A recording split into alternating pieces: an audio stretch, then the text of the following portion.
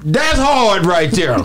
For you to be done rocked out with Pimp, work with Pimp. What song? I'm my third generation. Me true Steve- story. Steve you done heard it. Steve You done Beat- already True heard- Story. That was true you. story, little bitch. Yeah, that's me. Man. Story, little bitch. Smoke some bitch. Drop seven in the pot. Hit it with the soda now. Produced it. I, did, I was so long ago, I didn't even have a tag. HeartBeatz on track didn't even exist. they called me OJ, matter of fact, back then. Oh, yeah? Yeah, we on Boss Talk TV. Shout out to E. He the reason you see me. What was it that? How, how did you guys end up just even coming together? He just found you because you was doing music already. His older cousins. I used to I used to record his older cousins. I told you, it's my third generation. Okay. Yeah, so once I'm I've been doing it 22 years. Once I hit 30, that's three generations. full. Man. So I'm into my third generation right now, and his older cousins used to record in my studio, and um, I had I had set him up a studio at his at his spot. Like I gave him the template, I told him everything to to go buy and stuff like that. So once JD Young started growing up, he would record by his cousin house because they had the best studio. You see what I'm mm-hmm. saying? Because I set him up right.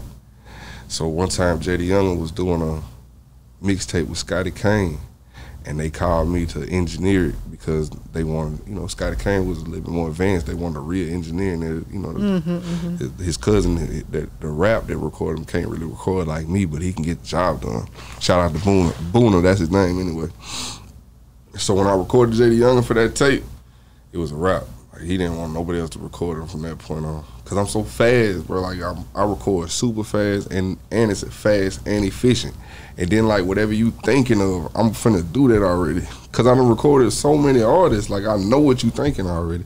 Nine times out of ten, you feel me? Mm-hmm. And I was just, you know, it's like if you get stuck, I write too. So I, I could throw you a line, you ain't stuck no more. You feel what I'm saying? Uh, you know, just What was the first song that went crazy stupid with, for JayDaYoungan and you that you produced?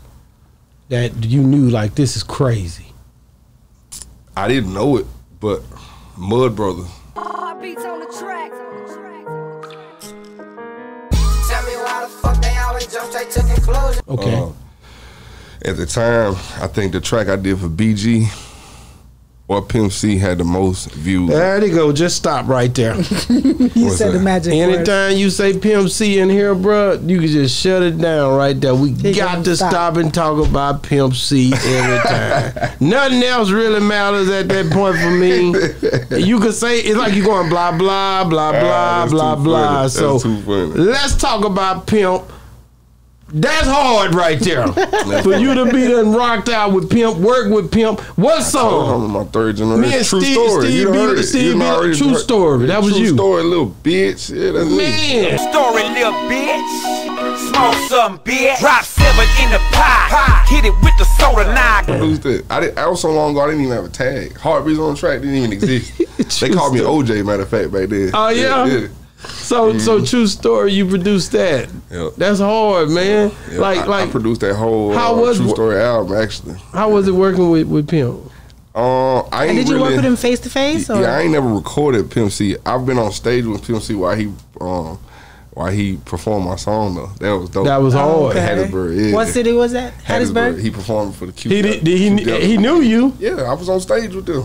Yeah, I was like I, they performed my song. He knew me for sure. The last thing Pimp C ever told me was we was at um, a release party, and he put his arm around me and told me, whenever I start using live instruments, I'm out of here. Wow. He said, when you start using them, like, he said, I love your beats. He said, but when you start using them live instruments, he said, you gone. And that was true.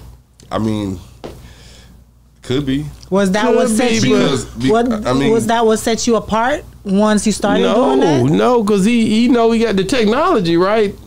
It, it's a I mean, technology isn't, driven thing. isn't a piano a live instrument? it is. Yes. And I use a lot of piano. But you already beats. were using the piano. Yeah, But- facts. right. Facts. I'm just Right. thinking about how technology is, bro. I'm more.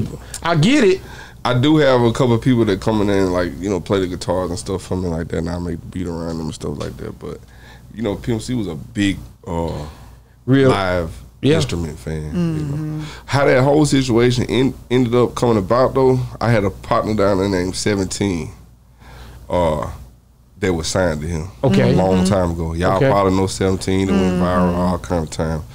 But anyway, I produced that whole Pimp C Presents 17. I produced that whole album. Yeah. Pimp C only did two Pimp C Presents, Boosie and Webbie, and 17. Man, And that, that- was live.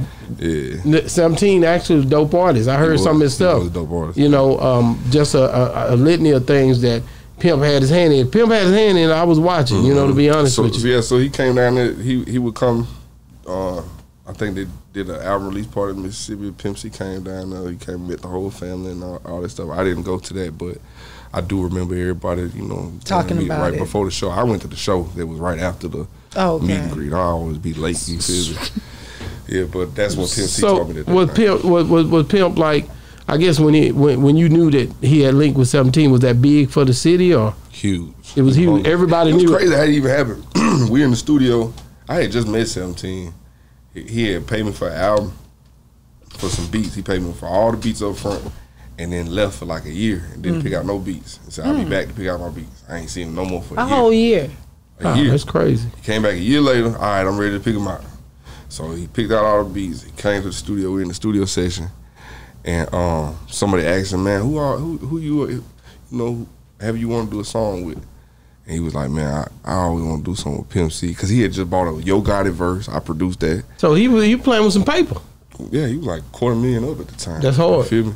Um, he had just bought a Pastor Troy verse, a Bohagon verse. I produced all of them. He like he really helped me out. That was early on in my career. And then he said he wanted to work with Pimp C, and there was a guy named Mon at in our studio session. He had a camera, and Mon he he owned a clothing store in Gulfport. He was like, oh Moss Point, I'm sorry. He said, uh, man, Pimp C was just at my clothing store last week because he had just performed on the coast. He was like, I got his number. 17 said, call him. He called him. 17 walked outside. He came back in. He told me in Iceberg, he said, I need two beats. He said, I'm finna go to Texas tomorrow. I'm finna go do two songs with him. And uh, we made True Story on spot. Uh, Iceberg put a couple signs in there too.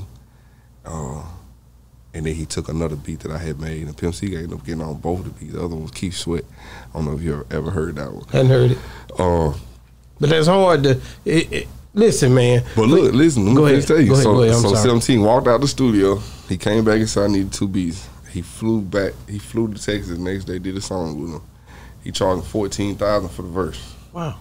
From what 17 tell me, I don't know. Uh, he said he ended up giving him most of the money back and just signing him to UGK. You know what I'm saying? Yeah, yeah. So, and and doing the project with him. Mm. That's hard, man. Story, little bitch. Smoke some bitch. Drop seven in the pot. Hit it with the soda now. Yeah, we on Boss Talk TV. Shout out to E. He the reason you see me. Yeah, we on Boss Talk TV. Shout out to E. He the reason you see me.